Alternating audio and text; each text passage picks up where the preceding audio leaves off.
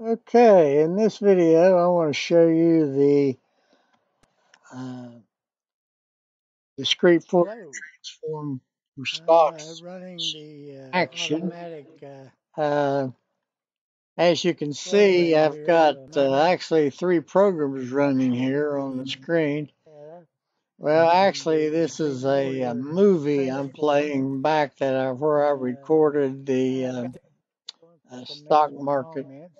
Action on uh, Friday, the 13th of March, See, it was 2020.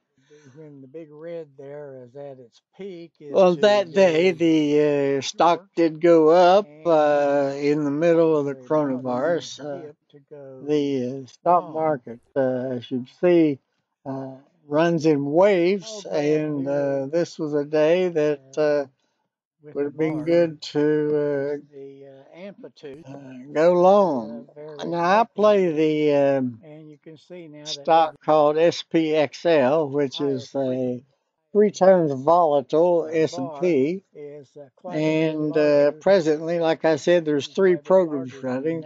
The one you see on the right is the discrete Fourier So if it's good, transform that means you of stocks. And uh, it's being updated continually uh, by uh, a uh, macro trying to stay parallel called. Macro Recorder, which uh, is a macro for Windows. And uh, and the stock program is Worden Brothers TC2000 that you see in the middle there. And across the top, here you can see the prices. And it is conti- the macro is continually running, which is basically telling TC2000 to export the file, and export it to a uh, directory on my computer. the And then also, as soon as after it's exported, it invokes uh, a macro in my Excel file uh, that uh, reads the uh, data file that's exported from TC2000 and updates uh, the uh, uh, spreadsheet. uh, And the uh, black line over here on the right, when it comes back again, is the price action. Uh, and the, the uh, a lot of big money to be red wave there is the uh, I call it big uh, red. It is the um, uh, biggest amplitude and the lowest frequency wave of the discrete Fourier a small stall transform. there. And uh, the other side waves you see there on the right uh, are the uh, uh, discrete Fourier transform other waves. moves to the right. Uh, now let's see. Big red. It's This uh, uh, ahead of it. this uh, file is uh, to go up. 128 Uh, although you can see by that amplitudes of the data point um, that the big discrete Fourier transform. And uh, what it does, it is takes the the 128 stock prices, which which means it's by the way are every minute should be going up to the current minute, and uh, it uh, curve fits it really. Uh, it's just a regression analysis really of uh, the 128 stock data go down to points, and then uh, it will generate. Uh, I believe there's for 128 data points. I believe there's only 64 sine waves, uh, but you can see all the waves there watching it here. And how many there are, which reproduces all these black curve uh, points uh, very accurately as to the data. It's like running a, a regression analysis using a uh, 128 data point regression analysis. You you exactly for 128 order polynomial and curve fitting each data point to it. So it's very accurate, and uh, in the positive area. so you can see the um, I call it the big uh, red, they're, they are and um, waves So eventually they And you can see here in this bar graph as it comes back, this bar graph, uh, the, the gold uh, bars are the amplitudes of the different waves. make you against much. And you can see that I'm going to put a marker on big, Big Red is the one, the largest amplitude, is about twice the amplitude of the next one. Now, the uh, I'm gonna go Big Red is the 1024, I believe. And so the uh, next would be the we'll uh, put it right where double, will double that frequency. So, uh, now. Now, that isn't always the case. Uh, looks like it's quit running. And uh, now let's start There we go. up again. Sometimes that micro bombs out and I have to re-record it. about to 860. Now, uh, over here in the middle, you see the TC2000. Yeah. I went short, that spot. So it uh, keeps getting big. I think, when Big Red peaked back here. And it's been decreasing, you can see. Uh, see how the black price line has decreased. So I'm ahead See, uh, uh, $820 here. And this was by going short. Now, getting gone down. So And the price if you follow, the idea would be pretty much to go short Uh, when the price peaks and go long when the price reaches the dip. Now, so you can see that the uh, black Kinda more horizontal. price is somewhat following the curve of the big red sine wave. advancing down like that. Now, the uh, price action is really The, uh, the sum of all these waves, including Big Red plus that one plus all of these others. So where those are you ever wonder why the uh, stock market moving in the jitters around as much as it does? It's because Now you look at it's the sum of all these waves. Now the uh, not down as much. the uh, amplitudes do change, uh, happens when it's and uh, the next uh, amplitude down may get uh, become a greater percentage of the highest amplitude. So that's how the uh, program matches the price.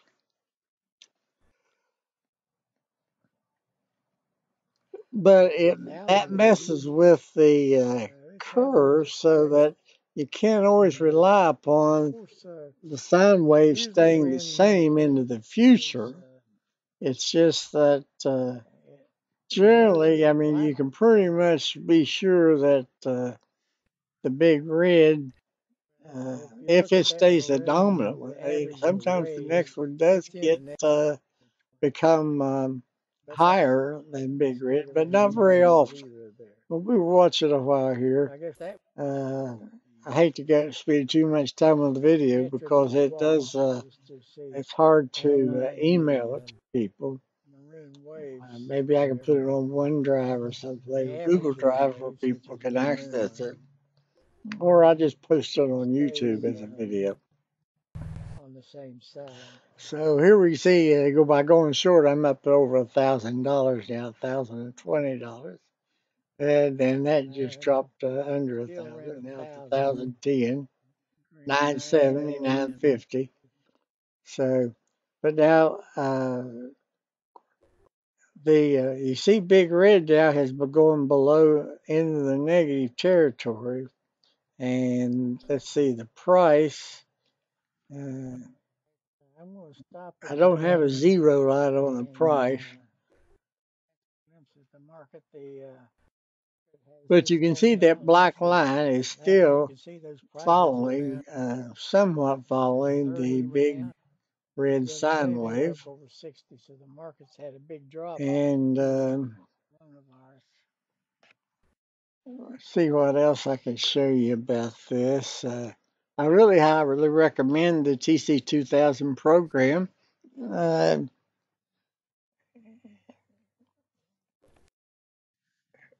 it allows you to uh, trade and, and it also allows you to just trade on paper.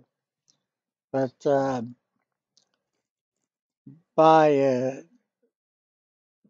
really the scheme I would use would be basically you want to trade when Big Red is mm, approaching its peak or, or approaching its dip, and then follow the next sideway, the next largest one, and uh, like you would want to uh, trade by the uh, a peak, say here the peak uh, in that black line, but you can see the see how the see how the peak there that's in the price occurs coincides with the peak in those other two sine waves. See that wave and that wave is where that peak occurs. Now this uh, that red or maroon line right here is the average of the waves, and you can see well the average of waves is if the price is the sum of the waves, that average is going to be the uh, show the curve of the price also, and you can see then how we've got these dips occurring simultaneously with the price, and that's because that's just showing you that the uh, discrete Fourier transform is working. All right, we're up to $1,350. See, that price just keeps coming down. Now, um, and I might mention now, if you don't like going short, that where this is the SPXL, the SPXL is three times volatile of and matches three times the movement of the S&P. Uh, there's also another one, electronically traded fund, where it uh, goes just the opposite, and that's the SPXS. SPXS is in Sam. And uh, so rather than going short, you just buy SPXS and it will do the same thing as going short on the SPXL. Uh, its price is different, uh, but what I found is really if I'm uh, uh, trading and watching the SPXL, sometimes it doesn't follow it exactly, you know. But uh, I think by playing on the long haul, usually a cycle mm, is about every two hours. To go from peak to peak is about two. Uh, peak to peak on the big red is usually about two hours. Uh, so if you're playing it uh, using this discrete Fourier transform by the minute, uh, it uh, it uh, so you'll be trading or switching it over about every hour. Uh, but you can see that the, the other sine waves do matter. And let's see where we're getting. Right now we're right here. And you can run those sine waves on out to a, a future date or time. And uh, and well, that's what's been done here. You can see by running those sine waves on out, I've generated this average curve, see, which is telling the future price prediction, you might say, but it's highly unreliable because the sine waves do change, amplitudes change, but it looks like you can see there's about five or six different waves that are dominant, and the big red is really almost twice the size of the others. When that's the case, you can pretty much just trade by the big red. But when the next one down gets lar- uh, larger, uh, you need to take both into account. I'd say when they get over uh, 75% of the uh, max, you need to keep them, uh, keep track of them. And then the more you use this, the more you get used to it. Uh, sometimes the price kind of stalls, uh, especially uh, right near close. A lot of times, what you the uh, price action by following the sine waves would normally be going time for it to go down, and it doesn't go down. Sometimes you're close. Bulls take over and they keep the price going up, or the bears take over and keep it going down. And rather than advancing along the sine curve, it seems like other small or higher frequency waves are being altered to keep the uh, market going into in a bear market or a bull market. So just think of it, it's really just a regression analysis with a, a 64 order polynomial, polynomial being fitted to. It's just fitting the data. But sometimes it follows, it just follows the waves. Uh, and you can see there how much is following that side, that red sine wave. I just keep playing it. Uh, now, um, as far as running the program, what this uh, is doing, if you see it, see it type in tcdata.csv there real quick. And type that into the uh, TC, there it is. Typing it into the uh, TC2000 program and saving it to my directory, which is under D drive. It's uh, 1AA trading root directory and uh, and the name of the file is tcdata.csv and uh, and then the macro comes over and clicks on the Excel file and I'm press I press Control U to have it run the update macro in the Excel file. Uh, this works out pretty pretty good though. You see with that micro recorder, I, you buy that micro recorder for about fifty bucks, and it's a one-time purchase. It's not a subscription, and uh, TC2000 is about fifty bucks per month. Now you see I'm up to fourteen hundred dollars now, and uh, let's see where we are. You can look if you look at the black price line, you can see the sine, main sine wave that's in it, the uh, big red.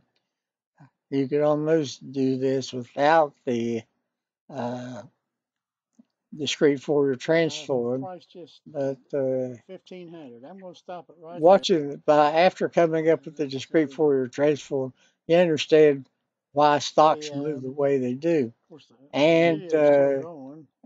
Uh, most of the time, like if, when you get the end of the day peak and and then or the end of the day drop, that's really it's it's re- reaching its maximum for that two hour period, and uh, it seems like it holds it off and keeps going higher or lower, and then the next day it reverses and goes down a lot. All right, well that looks like that's the end of the video, and so I'll stop the recording here.